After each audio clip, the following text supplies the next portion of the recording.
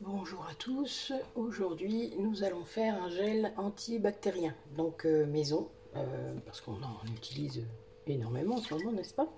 Euh, Et ça permettra d'avoir une version plus concentrée en aloe vera et où il y aura un peu moins d'alcool. Et donc c'est moins agressif, parce que je ne sais pas si vous l'avez remarqué, moi mes mains, elles n'aiment pas trop.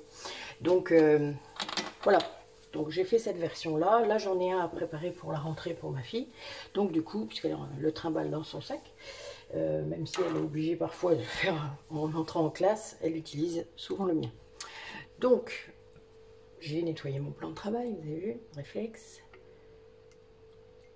Voilà, mon contenant. Alors, le contenant que j'utilise, c'est un contenant euh, à colle, pour ceux qui, qui connaissent un peu, vous voyez, c'est un petit Euh, donc ça vient se mettre tout de suite. Donc là, je vais le, mettre comme ça pour... Voilà, toc, toc. Je fais toutes les parties, vous voyez, séparément. Et après, je verse le col, même à l'extérieur du, flacon. Donc, j'ai oublié un petit bout de sopalin. Voilà. On va le laisser sécher minimum. Donc vous voyez avec le reste de l'alcool, ben, j'en profite pour reprendre mes mains, puisque je le fais euh, régulièrement. Donc maintenant, on va continuer à désinfecter nos ustensiles. Donc pour cette recette, on aura besoin des ustensiles habituels. Hein. Donc une cuillère, un petit fouet, une spatule, une marise pour les puristes, un entonnoir,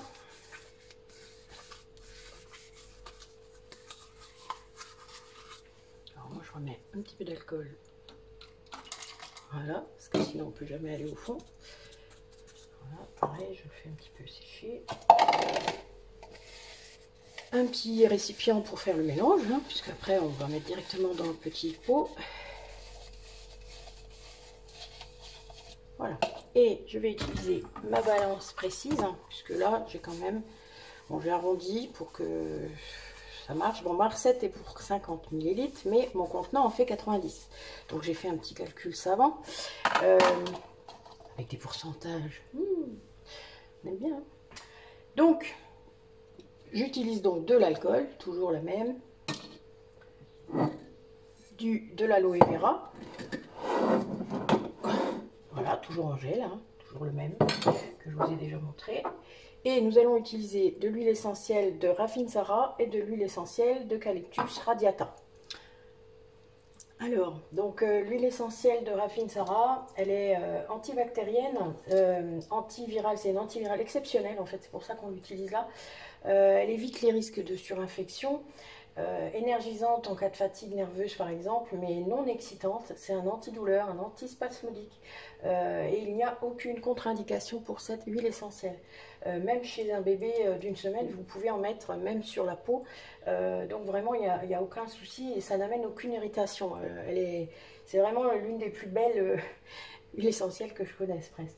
elle peut aussi être remplacée par l'huile essentielle de Saro qui est un petit peu moins chère et surtout qui est Enfin, c'est moins controversé, puisque le, le Sarah, euh, il y a beaucoup de gens qui en font, donc du coup, euh, euh, à faire pousser, vous vous doutez, dans des endroits qui ne sont pas évidents.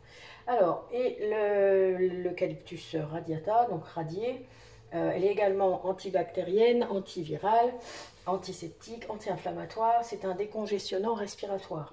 Donc elle est très efficace en cas de rhume ou de grippe. Donc c'est vraiment bah, c'est voilà, deux huiles essentielles merveilleuses dans ce gel euh, anti-bactérien, donc euh, euh, qui remplace tout à fait le gel hydroalcoolique. Voilà. Donc on va faire notre petit mélange. Donc moi j'ai fait, mes petits calculs. Hein.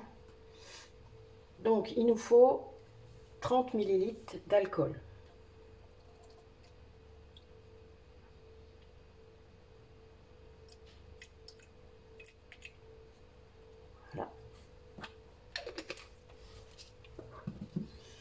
et 60 ml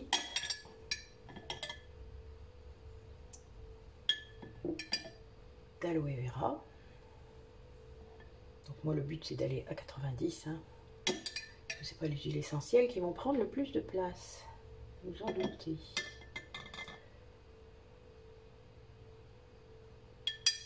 Encore un petit peu. Voilà. On ne laisse rien perdre, hein, vu que j'ai les mains désinfectées, de toute manière, ça craint pas. Voilà, comme je vous l'ai déjà dit. Et maintenant, on va mettre 40 euh, gouttes de chacune des deux huiles essentielles. J'en suis moins à 10 là hein, déjà. 13, 14, 15, 16, 17, 18, 19, 20, 21, 22, 23,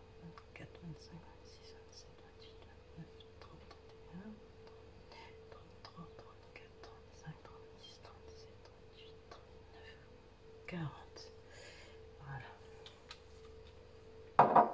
Et pareil pour la radiata.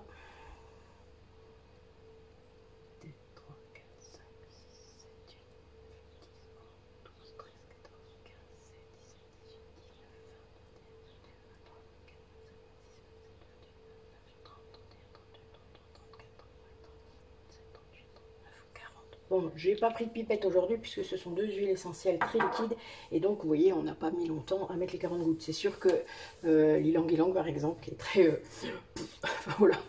très dense, je prends, euh, une pipette. Euh, donc surtout l'eucalyptus, vous faites bien attention. moi rien que dans ma pratique là j'en utilise quatre différents. Donc il existe le globulus, le mentholé et le citronné. En plus le radiata est quand même le plus facile à utiliser. Donc voilà, vous ne faites bien attention à ce qui est écrit sur l'étiquette. Des fois, euh, préférez qu'il y ait plus de détails que pas. Voilà, donc faites gaffe aux marques que vous achetez. Et euh, faites des recherches un peu avant si vous voulez, mais voilà, soyez bien attentifs. Donc vous voyez, mon mélange, moi, il est... Bon là, il est un peu liquide. Mais c'est pas gênant, gênant. Vous voyez, c'est liquide sans... Voilà, sans, sans être euh, comme de l'eau on sent bien qu'il y dedans. On va peut-être mettre un petit peu, tant pis si ça déborde. Alors moi, quand je vois que c'est pas assez euh, euh, gel, vous voyez, puisque c'est quand même embêtant quand c'est trop liquide, hein, vous, avez déjà vécu ça dans un magasin, c'est un petit peu embêtant, et ma fille n'aime pas trop. Je remets un peu d'aloe vera, ça c'est pas gênant du tout, vous voyez. Voilà, là d'un coup, c'est beaucoup plus... Euh, la texture gel est beaucoup plus là. Je vais vous montrer la différence.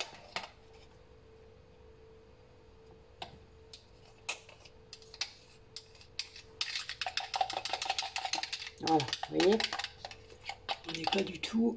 Je vais prendre la cuillère. Vous voyez, c'est pas du tout liquide. Hein c'est vraiment gélatineux. Enfin, gélatineux. Gélifié, pardon. Voilà, c'est le bon mot. Mais là, l'aloe vera, il est assez magique pour ça. Donc,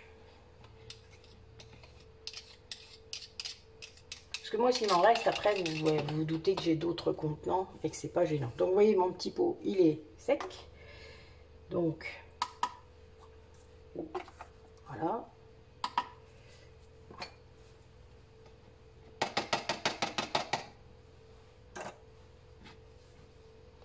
Bon, la Marie, ça permet de pas en perdre. Hein. Après tout, on n'est pas là pour ça. Moi, je suis une anti-gaspillage. Euh, voilà. Militante. Donc, on remplit. Hein. Bon, là, vous voyez, c'est un peu liquide, donc ça va assez vite. Ça va plus vite que pour notre gel euh, anti-bouton. Pourtant, il y a presque la même chose, sauf que, voilà, il n'y a pas, l'alcool, mais... ça se remplit tranquille.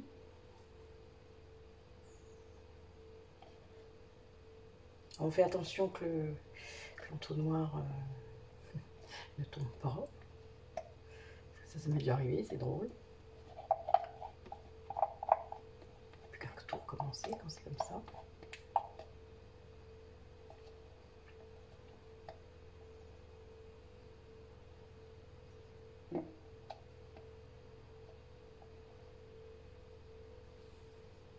Voilà, donc je laisse mon récipient à côté parce que si ça déborde un peu, ben je pourrais je remettre dedans. J'attends que ça arrive en haut.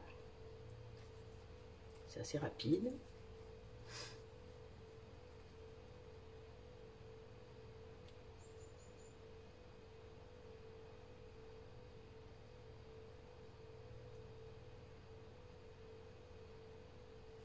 Je pense qu'il me restera un petit peu.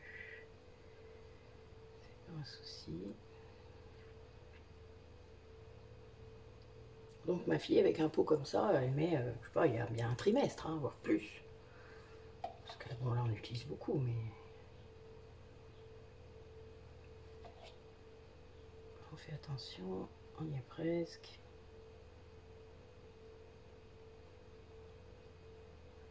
Hop là.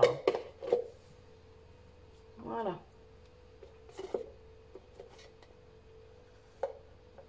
Donc moi, je mettrai dans un petit pot pour moi. Et voilà. Alors, j'en ai même un petit peu de trop, donc je vais en verser un petit peu. Voilà, juste pour pouvoir le fermer, parce qu'avec la pression, ça peut être embêtant. Donc, mon petit... Vous voyez, donc quand on l'utilise, on en met comme ça. Hop, vous voyez, ça suffit largement.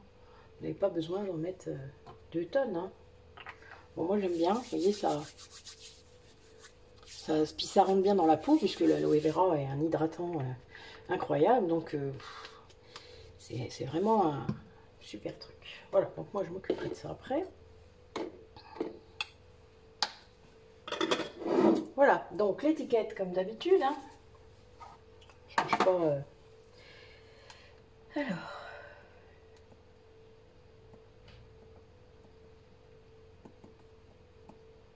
Donc là, moi, je mets 6 mois, puisque l'aloe vera, euh, là, il n'y a pas d'eau, hein, donc il y a de l'alcool et euh, de l'aloe vera, donc vous vous doutez que pour la péremption, il n'y a pas de souci. Euh, mais je mets 6 mois quand même, histoire de. puis bon, il est largement consommé avant. donc nous sommes le 20. Donc, 22. Voilà, vous voyez, elle a largement, elle peut faire tout son premier trimestre avec sans problème. Et je colle ma petite étiquette. Voilà. Comme ça, pour elle, c'est prêt. Le petit matériel est bon. Voilà. Bah écoutez, merci d'avoir regardé cette vidéo, puis à bientôt.